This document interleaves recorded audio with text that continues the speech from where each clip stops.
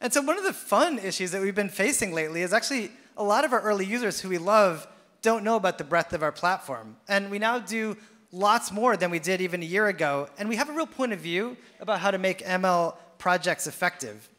And so I feel so happy to introduce Carey Phelps, who is the person interviewing uh, OpenAI in that slide I showed, I showed earlier, to give you a demo of our end-to-end -end platform and our thoughts on best practices. Carey has been a PM at the company since the very beginning, and she's responsible for a lot of the long-term vision and a lot of the little details that make the product delightful. I'm so excited to get a look at this, Carey. Thank you. Thank you. What a kind introduction. I really appreciate it. Um, I've really enjoyed getting to work here for the past five years. And one of the things that you know, we're really seeing you know, to ground us is, is this simple ML workflow, this common pattern. And so I, I want to ask, how does a model go from creation to deployment? Almost every mature team we work with has three personas. And I want to see who's here in the audience today. So first, who's an ML practitioner in the audience? Can I see a show of hands? Yes, so training models, uh, you know, running new experiments, tracking metrics, visualizing results. So we also have ML ops engineers using weights and biases. Who here is an ML ops engineer? Can I see a show of hands? Awesome. So those are the people who are setting up infrastructure for the team, you know, managing and deploying models. And now, who's an ML team leader? Who's running an ML team right now? Awesome, awesome. Great to see you in the audience. And those folks, you know, reviewing, deploying models, driving stakeholder alignment. Um, as, as a lot of you know, sometimes one person is doing all three of these things. But you know, what can we do to tighten the, the cycle of iteration across these different personas, these different stakeholders?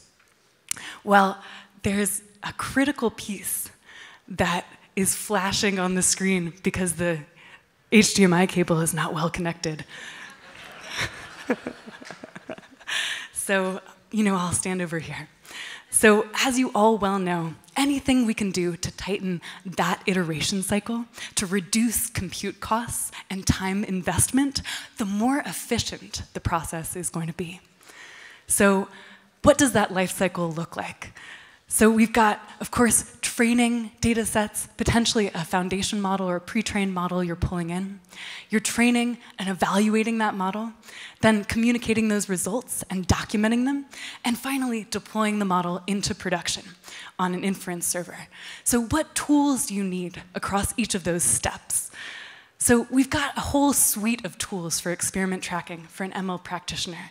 We also have tools for the ML ops persona. So that's someone who might want to launch new models and get them evaluated systematically and rigorously, then communicate those results to the team leader in a report, and then deploy that model into production.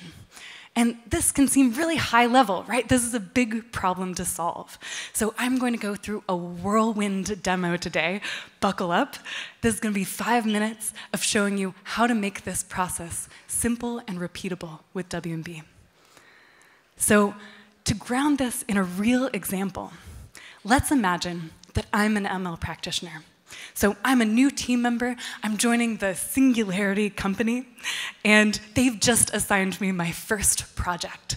So we're contracting with Manchester United Football Club, and we're looking at images of soccer matches. We're trying to analyze them. And as part of our pipeline, we have a model that classifies what's on the field in a frame of video. But we have a big problem. We've detected some drift. The model in production is no longer performing well, and we have to retrain that model on some fresh labeled data we've just gotten back from the labelers. And so the team has asked me to come in and retrain a model on the latest data. So this could seem really simple, right? This is a straightforward process, train a model. But you'd be surprised, even some of our most advanced customers, the process, the, the wild goose chase of finding all of the details to reproduce a model can sometimes be really frustrating. And so I'm gonna walk through a very quick demo to show you how this is possible in W&B. So retraining, evaluating, and deploying. Are you ready? Let's get started. So here on the side of the page, I have all of the previous experiments in the project. So I can actually see all of the previous work. I'm not starting in the dark. I can also compare the model's performance. So I can see how different models line up, and I can even see sample predictions. So what's the actual data the model's looking at? And here it's the soccer field. Um, and I can see notes that the team has shared with me. So, you know, any context that I might need to get started. And here they've actually set up a training script that I can fork and reuse here in this job. So I'm gonna come in here and just pull down that previous work in this model training job. And I can actually see all of the previous runs that were created using this job.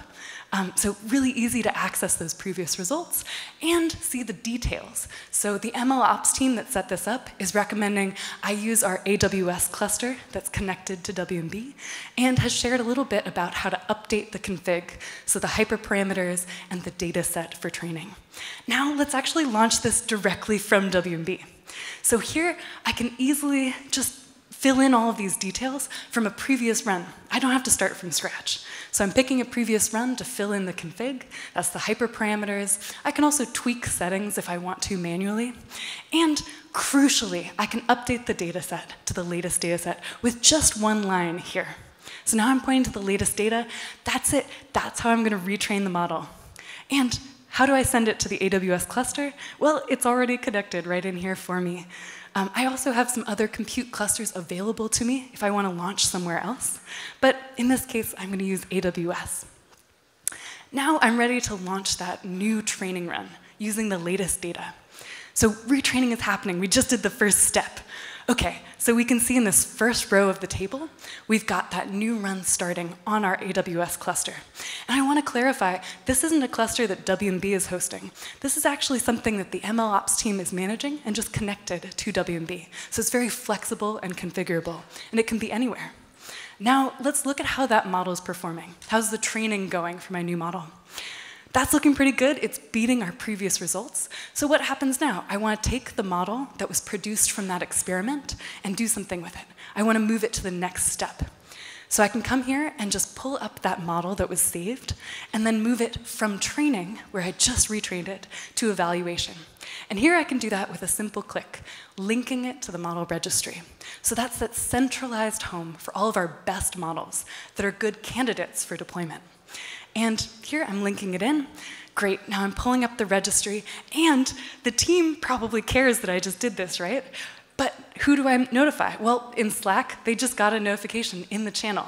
And you can see that here in the corner, the Slack channel just ping tape, you've got a new model. So everybody's on the same page about the changes I'm making. You know, keeping people um, organized about these production models. So now, um, here's a description of, of, the task for the model. So if someone's browsing our model registry, they can find you know, a task related to their interests. And we can also see the latest version that's just been added in here, and all of the previous versions of the model as well. Now this is the really exciting part, the automations. So I can automatically evaluate any new model I linked in here. And this actually just kicked off, like this is happening now. And deployment as well. So I can have an automation to deploy a model um, using an external tool. So let's look at the evaluation one. So that's actually using a GitHub action.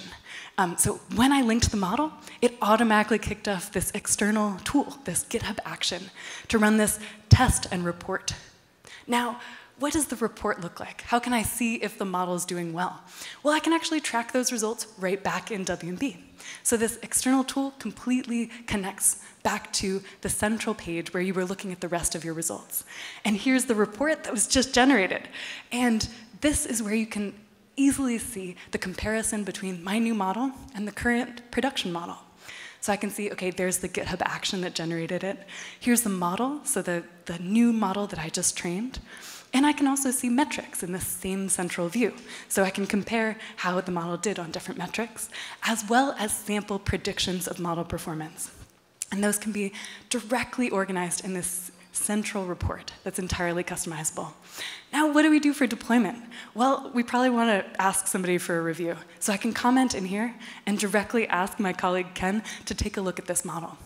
Now, if I have role-based access controls, I can also actually deploy the model directly from this report using this simple button where I just set this model to production, and then that kicks off another GitHub action to deploy the model to production, just like we saw before. So this has gone through all of those three steps, but we're always trying to make this more simple. So here's something that we're cooking up. The idea is adding a deployment button directly to the model registry. So you could just pick, say, a SageMaker endpoint, and then click deploy, and it would run that job on your behalf. So easily deploy your model. Now, I know that has been just a real whirlwind. So I'm going to pause and summarize. Beyond experiment tracking, we're making the production workflow more efficient. We're making it easy to automate evaluation, communicate your results, and then deploy models to production. It's been so awesome to get to share this with you today. Now, back over to you, Lucas.